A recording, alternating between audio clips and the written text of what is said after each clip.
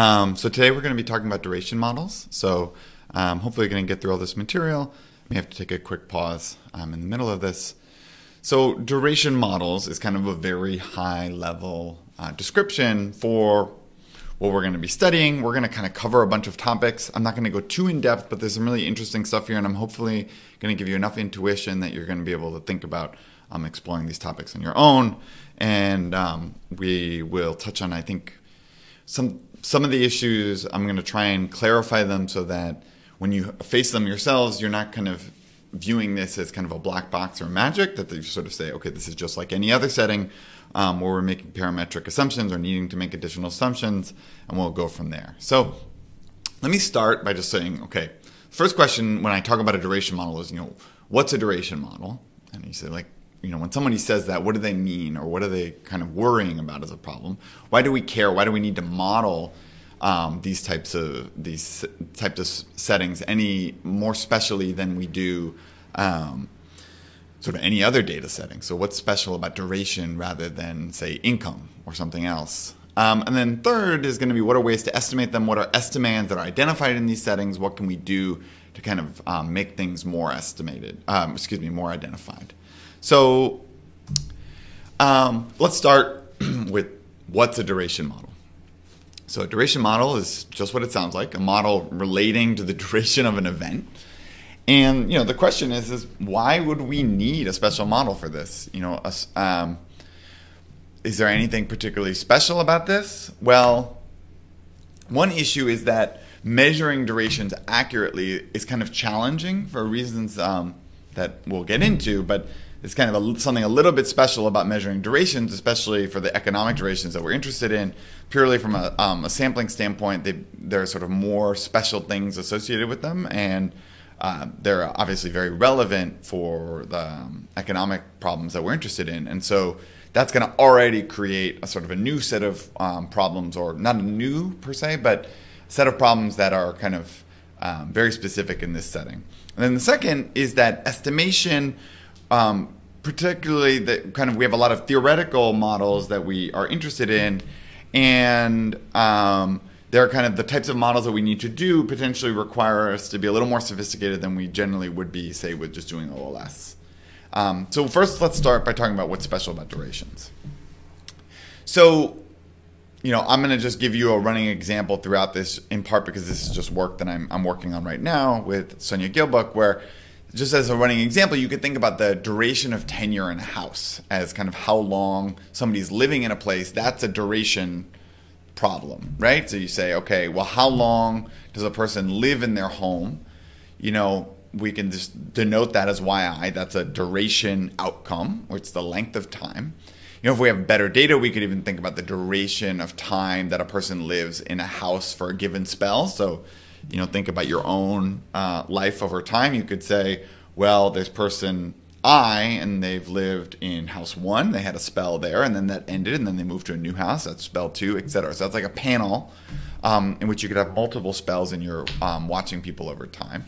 And there are a number of notable things that could affect this tenure right? So the age of an individual the housing cycle, sort of how how much of a boom in house prices there are, or et cetera. The business cycle, which is sort of things like how the economy is doing. Maybe when the economy is running really hot, I'm more likely to change jobs because there'll be um, more opportunities for me to move, um, or vice versa.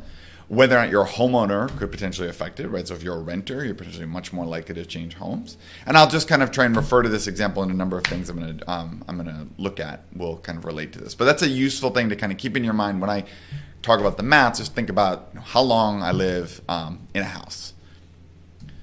So you know the types of duration data that you're going to observe are potentially going to vary a lot. And this is going to be a, play a big role in the way that i'm going to think of, and talk about duration data of why it ends up mattering so much. And so um, you know the truth if we could if we were god and we saw everything the truth would be for every person i we observe a duration which is you know between zero you know, it can't have a negative duration length and some positive maximal value. So in theory, that could be unbounded, but maybe that's maximally bounded if it's something related to a human being, right? The max lifetime of a human human being. So uh, what kind of data do we observe? So, uh, you know, the first example is the best case scenario where we see everything. So for a given observation, we see when the spell starts and when the spell ends. So period zero all the way to cap t. So we can call this the full case um, when we see everything. Let me just quickly make sure. Okay, I want to. Okay, I'm recording. Sorry, just making sure that this works. Um, so that's uh, the simple case where we see everything you know, sometimes we don't see everything. So there could be sampling costs or limitations on time. So an obvious thing, right, would be like you have this data, you've collected a bunch of it, and then you decide to write the paper. Well, it's possible that you know the last time that people bought houses, they haven't moved since then, and so you still need to write your paper. And so that's going to create what's called a, a form of right censoring, right? So for a given observation, we see the spell start, and we see the spell end for a lot of individuals or most individuals who, for all people, observed before some censoring point. So that can be C if it's the same for everyone, or CI if it varies by individuals. And for those who've not had their spell end by the censoring point, we only observe the censoring time period. So if this censoring is effectively random, if it's not driven by something that relates to their duration um, period, then we this is parametrically um, addressable. So um, you know, so this is something that you can deal with, but really the way to think about it is right. We have some start period zero, and then for we kind of for all people, um, we're basically you can't go any further than CI, and so we're not going to know the outcome of the people all the way up to the maximum. There's this missing period where we're going to see the, um, the minimum between what the true outcome was where they would have done it and C. So if they were before CI, then we would observe the true value, and if you know it was censored, then we only see the censored value. So that's a right censoring problem. Sometimes we even actually have less data than this, so that was kind of nice, right? In the sense that we knew um, kind of when when they when, conditional on not being censored, we saw a lot of data, but sometimes we don't know, right? So there could be a version of this where we say, all right, well, what we know is we know when they start, and then we check in on them. We say, let's go along, and then we're going to check in after 10 years. And all we'll really know is whether or not um, they exited before that. So that's like basically checking in on them afterwards. And the problem is, is that you may um, you may not know.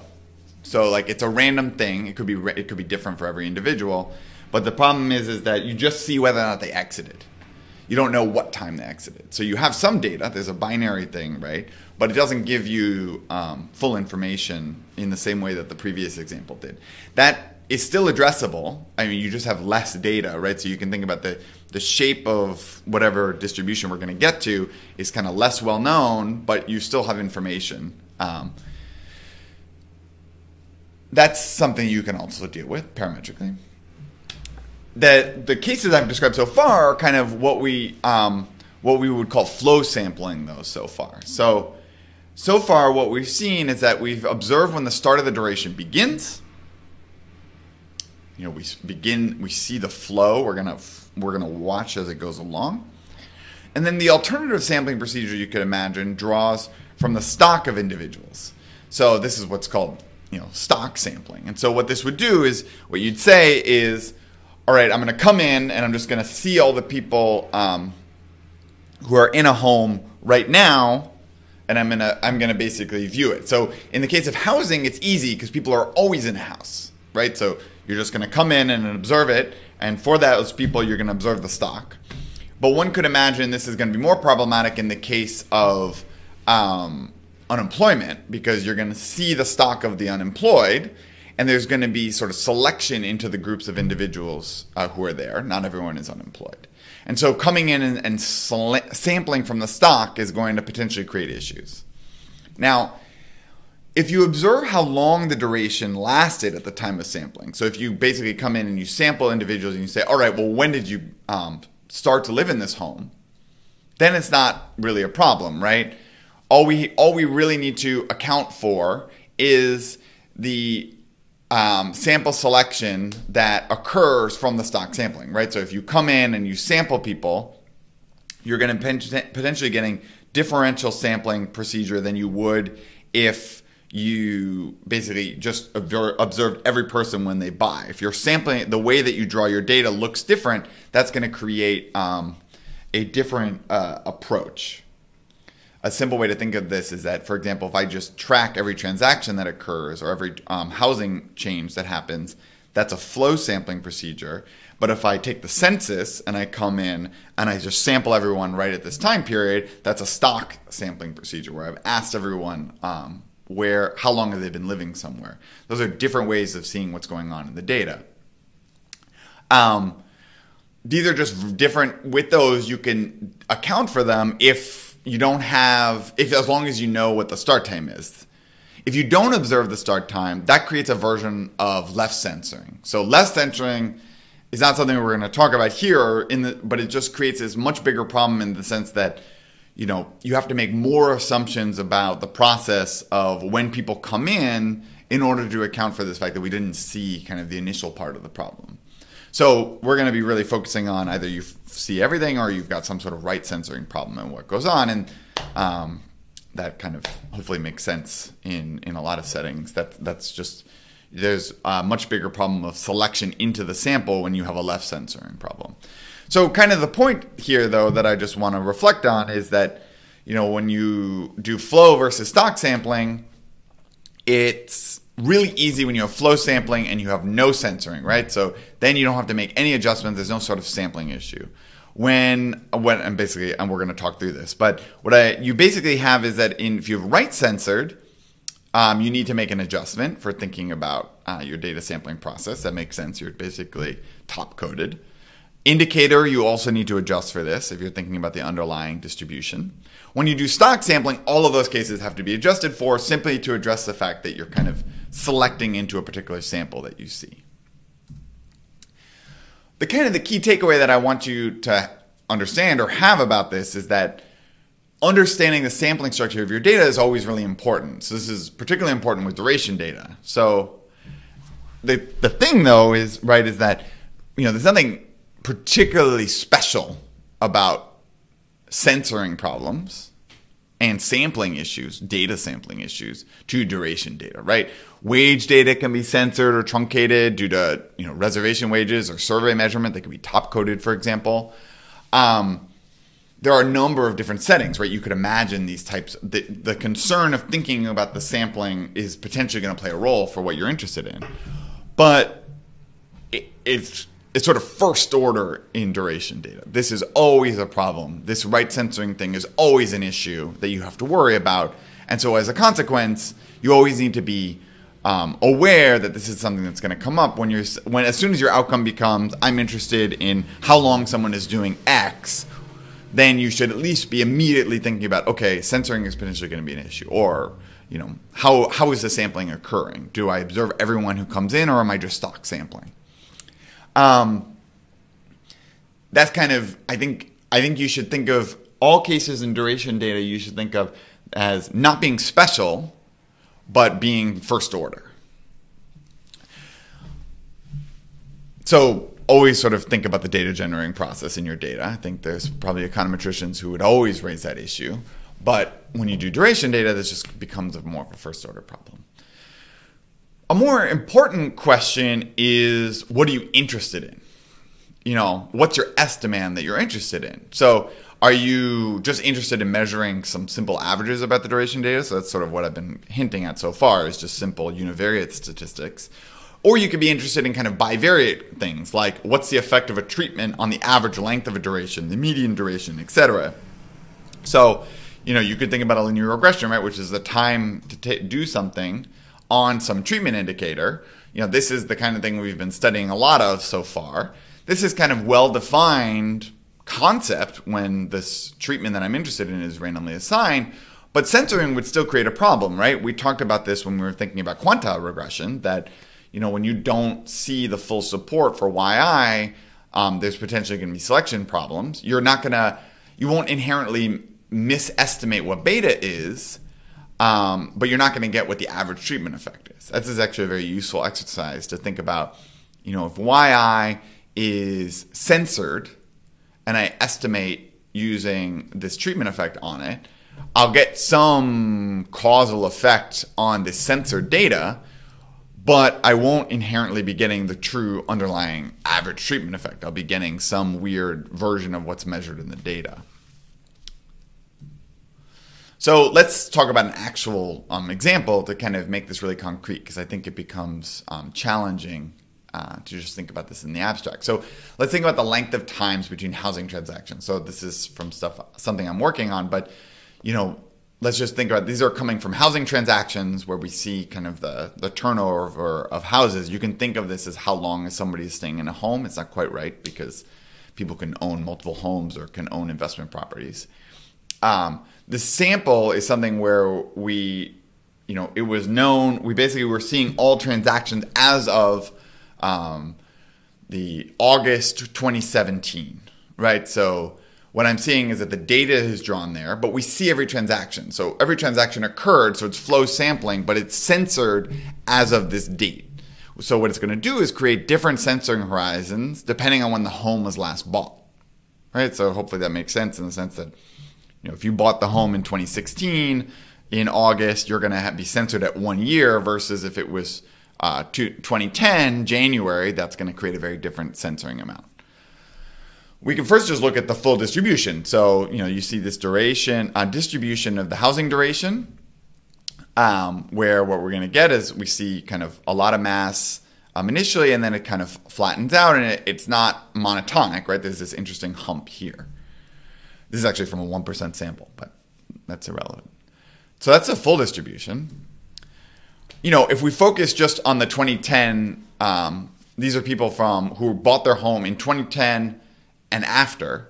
You can kind of see this very obvious truncation problem. So I'm keeping the x-axis the same. It's pretty obvious that well, we don't observe any lengths longer than eight years for obvious reasons. Um, but the shape of this curve um, is kind of less obvious. So you see this see this sort of problem, but there's actually this mixture of all these different years, and so you kind of just look like you've chopped off one piece of it.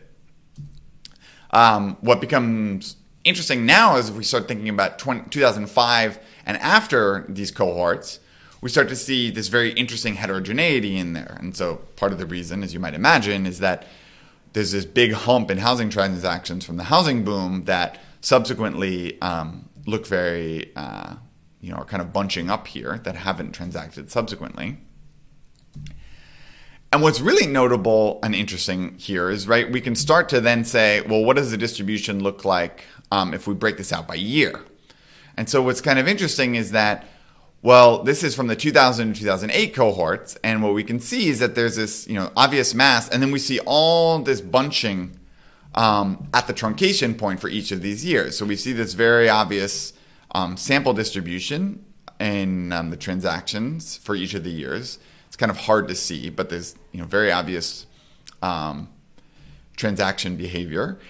But all of them start to sort of bunch up right at the um, right at the uh, at the kind of censoring point because kind of there's all these people who are holding on to them and haven't transacted, and so we don't see the subsequent transactions. So um, the thing is, is of course, as in these previous ones, when we put them together, that cr- kind of created these averages so you didn't see as much of the bunching, but when we break it out by year, it becomes very obvious. So, you know, in this case,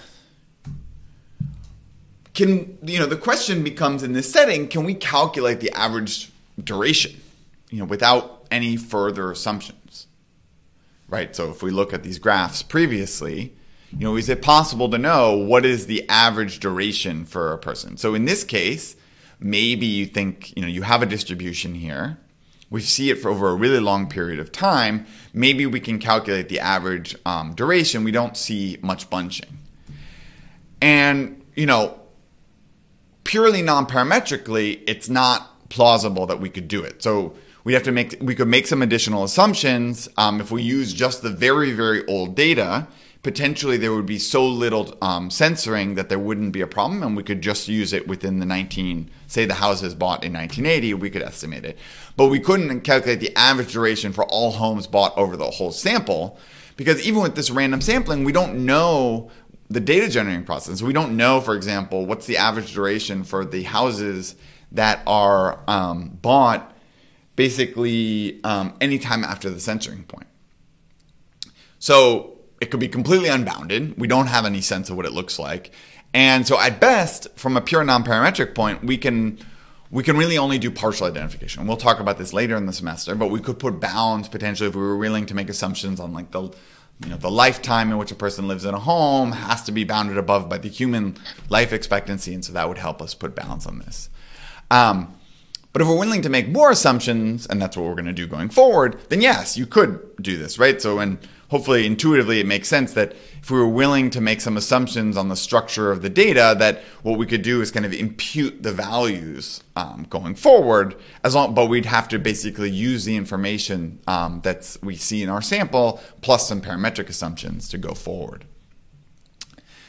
So, you know, one thing that it is worth talking about though, before we get into kind of the more parametric models, is that it is worth noting that there are things that we can still estimate or identify. There are estimands that we can identify even without parametric assumptions, right? So think about this is the distribute. This is that same graph I did here, this um, housing duration, the CDF, or the PDF, but now I've done the CDF version. So here now, I'm this is the duration, and what you can see is it's because my data is in months that you see this kind of um, sawtooth pattern. It would be an immediate jump if it was just in years.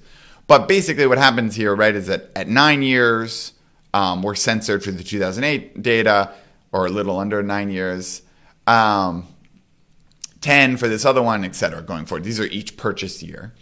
And, you know, the kind of the interesting thing is we could talk about estimates of this, right? So the 25th percentile for the 2000 year uh, purchase year is, we can talk about what is that, the 25th quartile, right? For the first quartile. And we can do that for all the years, right? So for the 2000 cohort, or excuse me, the 2008 cohort, the housing duration is much longer than all the other years. If we see, um, you know, we can look at all these other years, the, this is 2008, and we can look at 2007, 2006, etc., and go backwards. And it's notable the the 2008 quartile is much much longer than everyone else.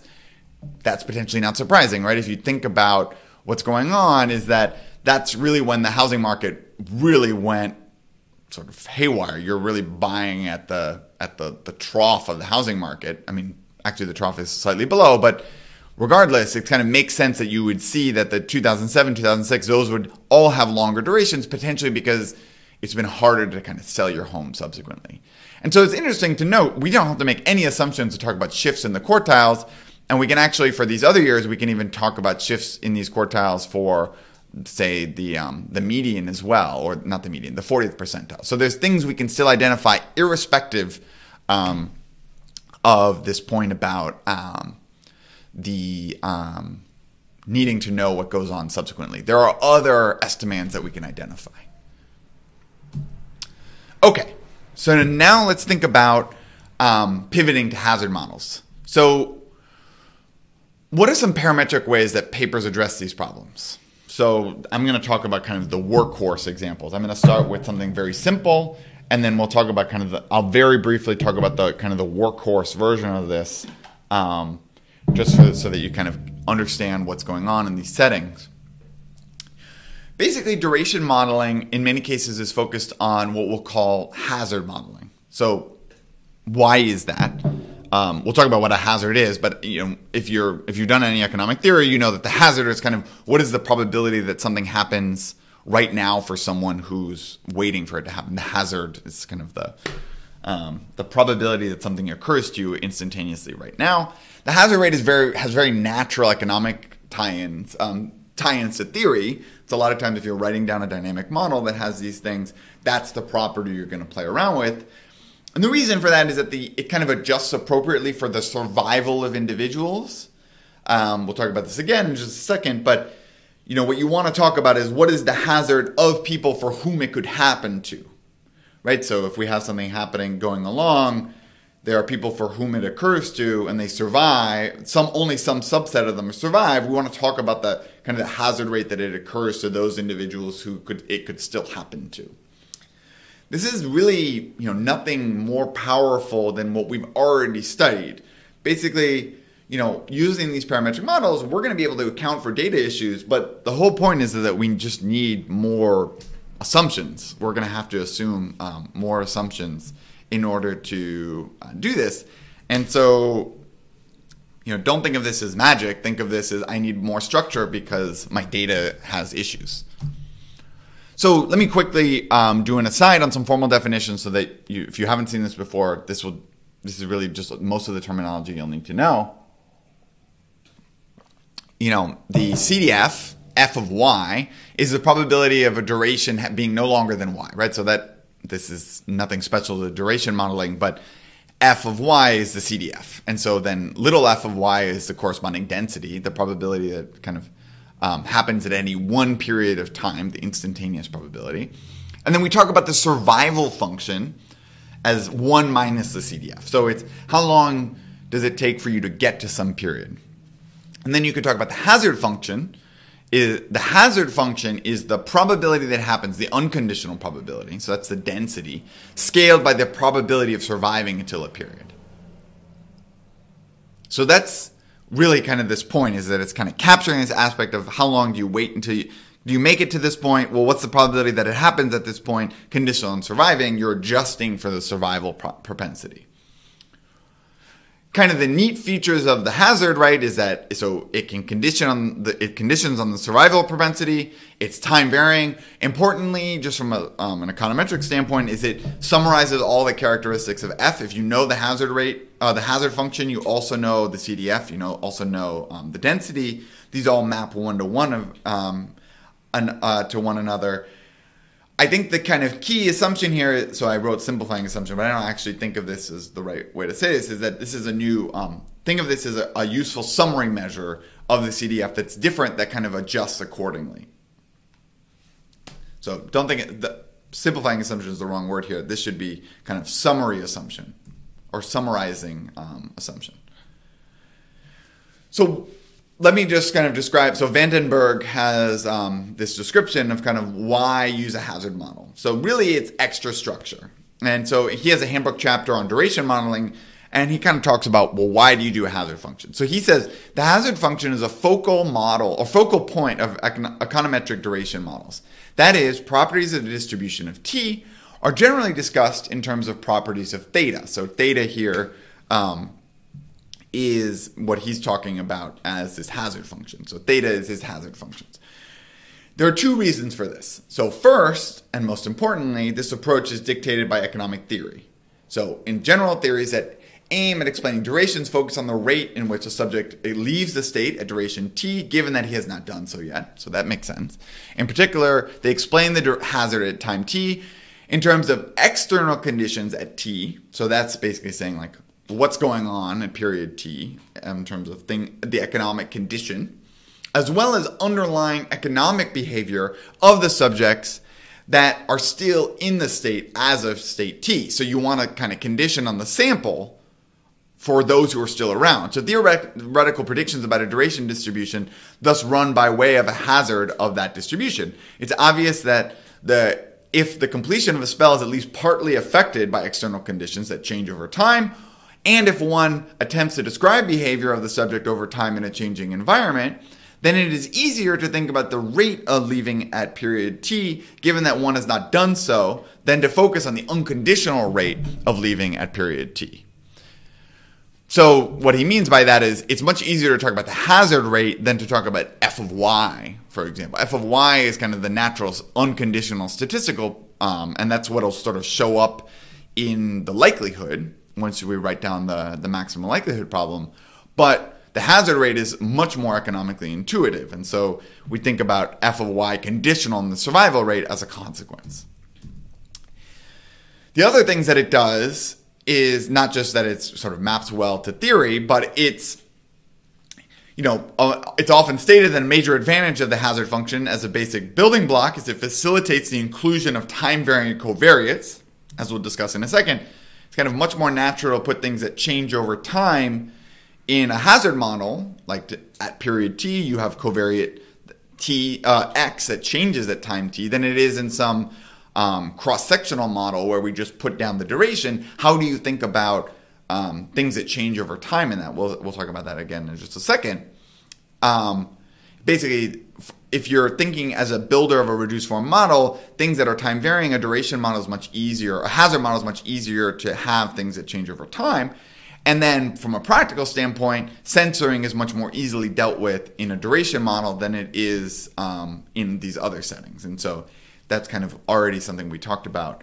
But so really the kind of if you want to make an argument for why do you do um, a hazard model, there's three things. One, it maps to a model that you have in mind. Two, it effectively captures time varying characteristics. Three, it de- deals with the right censoring problem.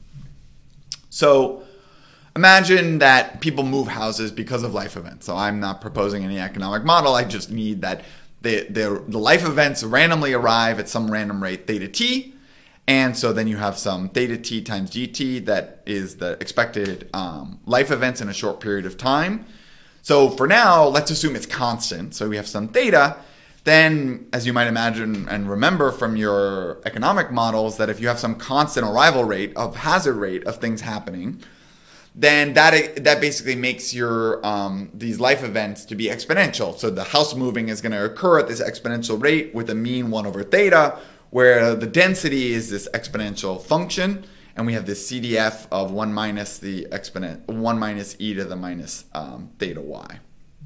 So this distribution is obviously nice. This is why all our economic models have it, because it has this lack of memory property, which is just that even you know, irrespective of when you censor, um, the probability um, that oh, I'm sorry, this I don't think this is right, but you know the the the probability that you're going to uh, it should be y is greater than c in this, not y is greater than zero.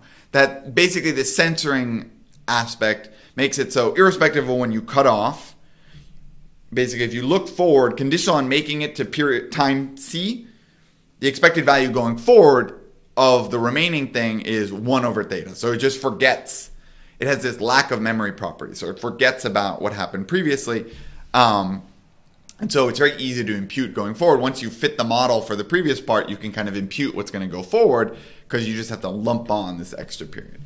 So the hazard rate in this context, by the way, if it's not obvious, is the hazard rate is exactly theta. So the way you can see that, right, is you take the density, this is theta of the exponential of minus y theta, take 1 minus the CDF, that's going to get us the exponential of minus theta y. Do this, uh, do the f of y divided by the survival rate, that's going to get us exactly theta. So the hazard rate is exactly theta, that's easy. So that makes a really nice property, right? We have this exact constant number that we need to calculate. And now we can study these other duration cases that we had in um, our previous setting. So consider our data sampling and the likelihood. With our fully observed um, flow sampling, we have this likelihood, and it's really straightforward. I mean, so obviously, if we observed everything and we had no censoring, we don't need uh, to do anything special. We don't have to worry about this. We would just take the average, right? But we can write down the likelihood, and the likelihood is going to be equal to the product of all the densities. So remember, this is no different from when we were doing likelihoods before. Which remember, the likelihood, the density is just the hazard rate times the survival function right? Just mechanically. Um, since the hazard rate is equal to the density divided by the survival, same same thing here.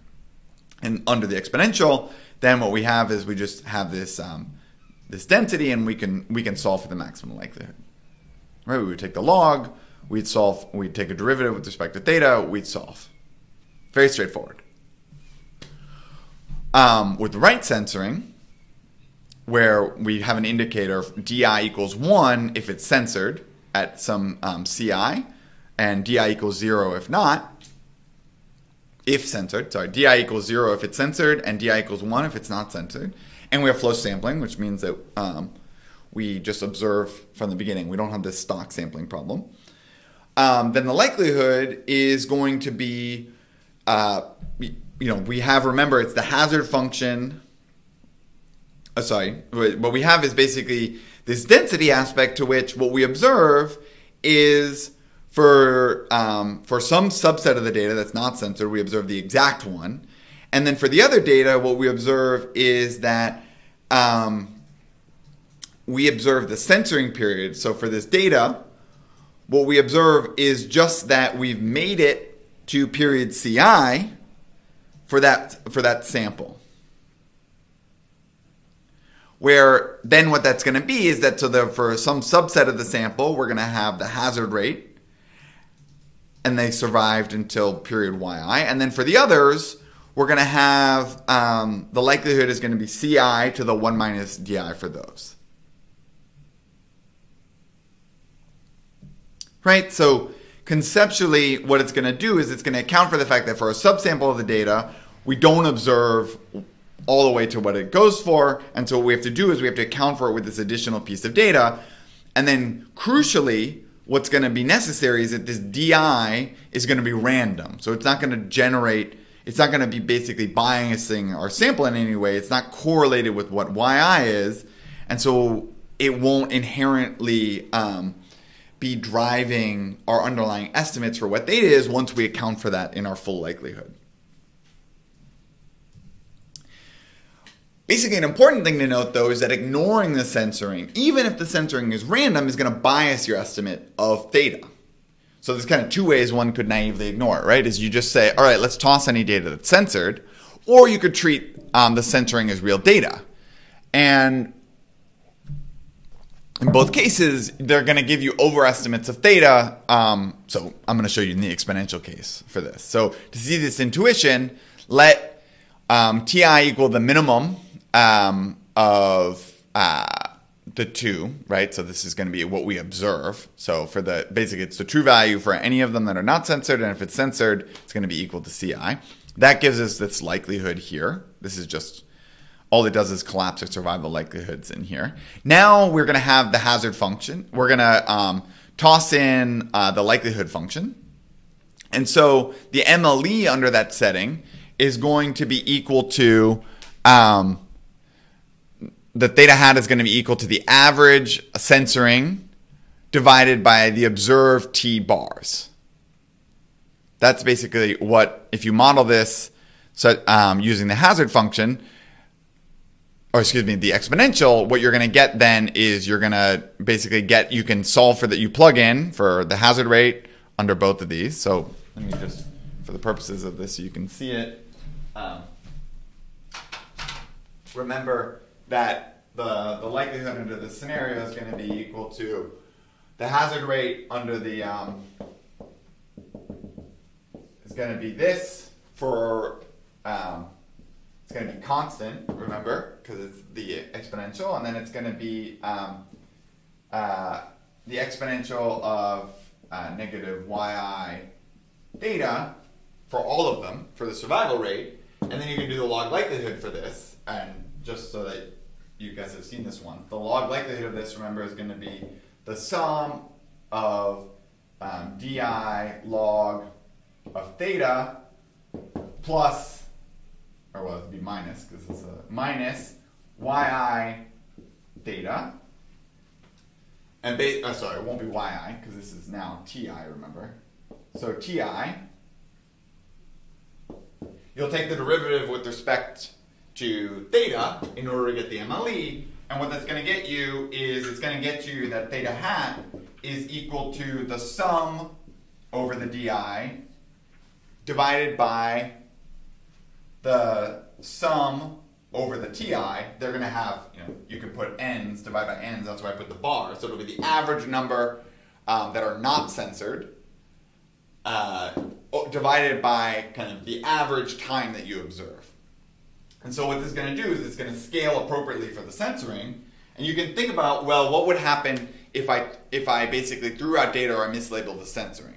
So if I ignored the censoring and I just estimated as if these were the true values, then remember that this would just go to one, and you so basically this denominator wouldn't change, but this would get uh, bigger, and so you have upward bias in your estimate. And what would happen if you ignored the data is, or excuse me, if you threw out the data, so basically uh, drop the censored observations, then what you'll get is you'll get the same exercise. Remember, we're going to have less observations now.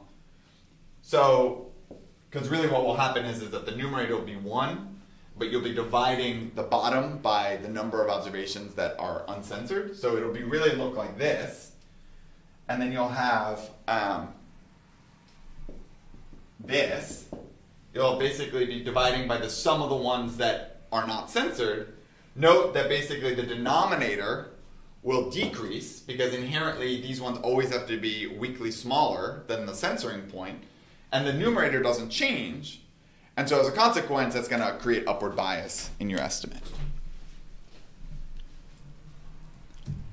So, you know, so far in what we've talked about, this is the basically the value here has been um, to create basically add parametric structure to basically capture univariate features of the duration. So we want to know the properties of a censored random variable. Um, you know, in a lot of cases, we want to know the effect of some variable, right? So some treatment D. So you know, first, let's just think about well, what are the downsides of running a regression like what this, this y on d, right? So, you know, for one thing, this d variable is going to be like the average, even if there's no censoring. So, what will it capture? It will capture kind of the average effect in the population. It might be though that there's kind of a more useful measure where you want to you have a you have a model in which you want to talk about um, kind of the rate at which people exit uh, that might be more effectively captured by just doing a duration model. Obviously, that has parametric aspects. So it's, you know, this beta here is just going to capture an average treatment effect, even if there's no censoring issues. Um, but maybe you want something that's a little more mapped to um, to the model that you have in mind. That's not a great argument on its own. There are ways to kind of transform this beta in a way that'll be meaningful, um, but it can be more, you know, that that there are good reasons to potentially want to actually understand the underlying hazard function of what it looks like.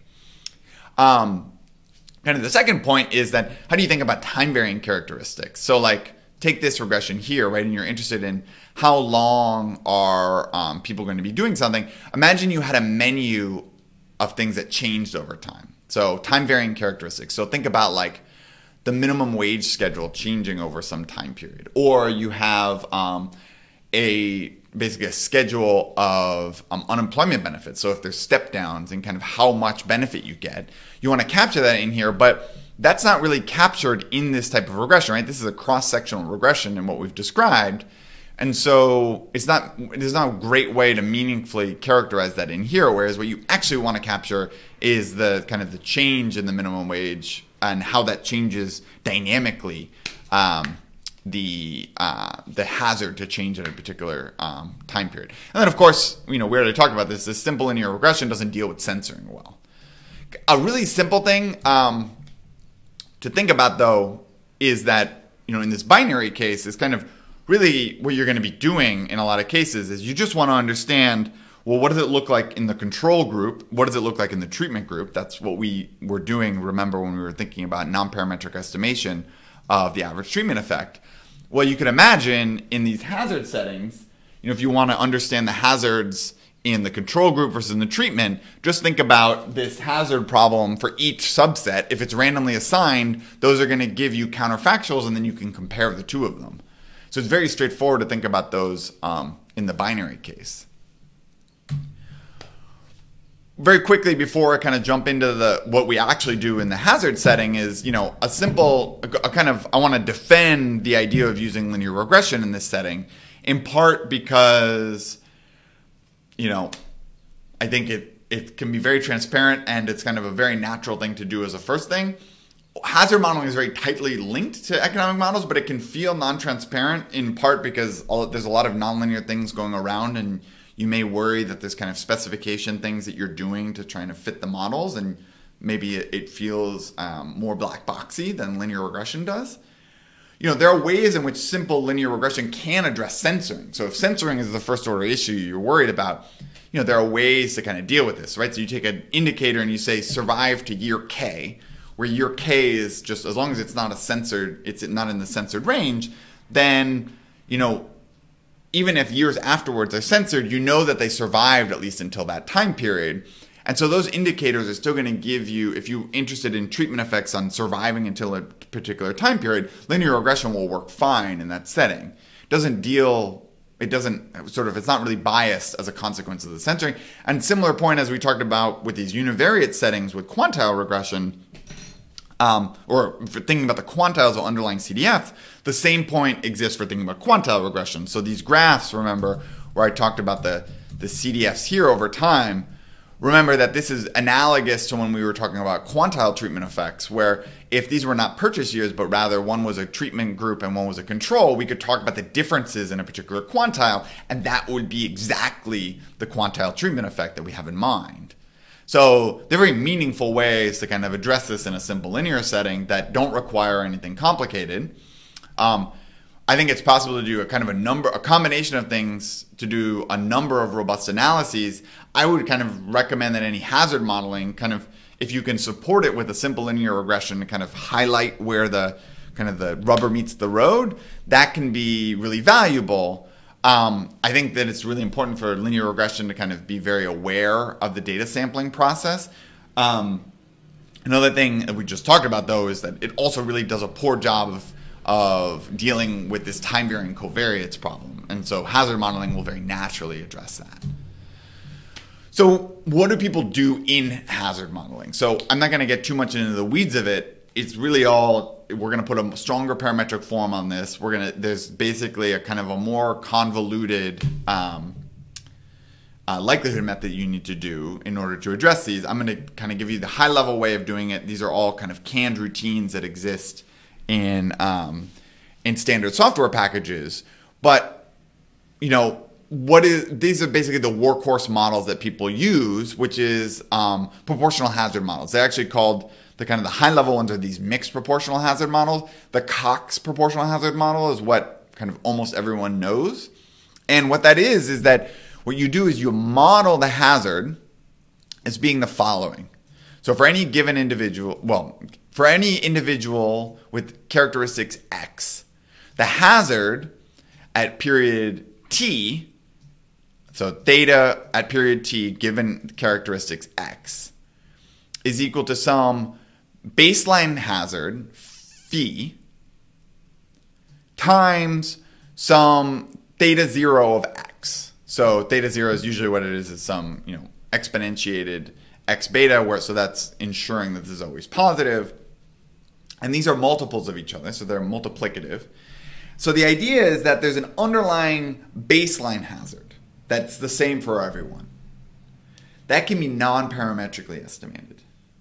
And the idea is that, well, that's not going to require anything other than kind of just trying to understand the shape of it and looking at the underlying data. And with that hazard, you also are going to allow for the idea that the characteristics are going to shift around the level of the hazard curve, but not going to change the overall shape.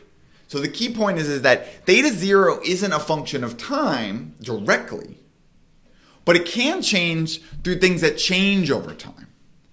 So hopefully this is clear that like, you know, this is really, we're allowing this to kind of change with time. This is like putting in time dummies in that the sense that the level of it shifts, just as a function of what time period it is. But the shape of it doesn't change directly as a function um, of people. People don't have their own different um, baseline hazard.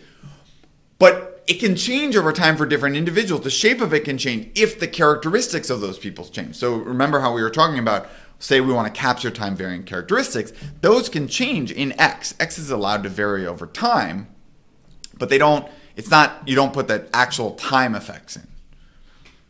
So this is kind of the base. This is kind of the workhorse, the Cox proportional hazards model, which is a subset of this um, mixed proportional hazards model, which looks hopefully exactly the same, except what you now have is this scalar v, which multiplies the hazard rate, and v is allowed to vary over people the special case that you can imagine, right? So the special case is that V is equal to one. That gets you back to the Cox model.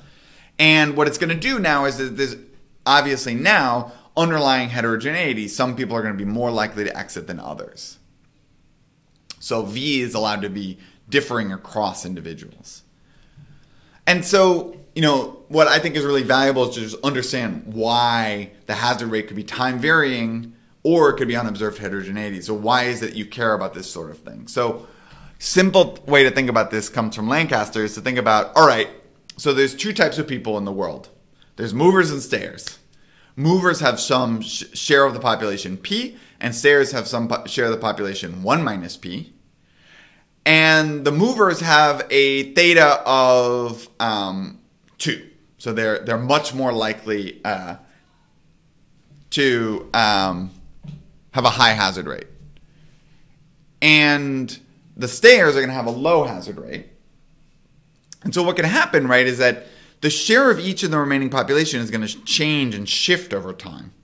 Basically saying that um, what's going to happen is that the overall hazard rate is going to change as a consequence of there's less and less stayers, uh, movers in the population, and more and more. Um, sorry, there are less stayers in the population, movers in the population. Sorry, less movers in the population than more stayers. So the average of the group is going to shift. The composition is going to shift more and more towards stayers, and so the hazard rate is going to shift. But it's a composition. It's a compositional impact of unobserved heterogeneity. We don't know how to measure who are movers and stayers but this shifts over time. And so, you know, there are ways to kind of uh, directly address this if you only see one set of um, observations. So Lancaster tries to model this and allow for unobserved heterogeneity to kind of capture these differences. There are also kind of more modern techniques that can potentially address this issue that are basically going to exploit panel data, right? So if you observe multiple spells and then assume that people are movers in both both um, spells, then that you can basically uh, exploit that cross spell variation to kind of get at this. Um, um, oh, I got the baby. Yep, that's great. I'm gonna I'm gonna pause.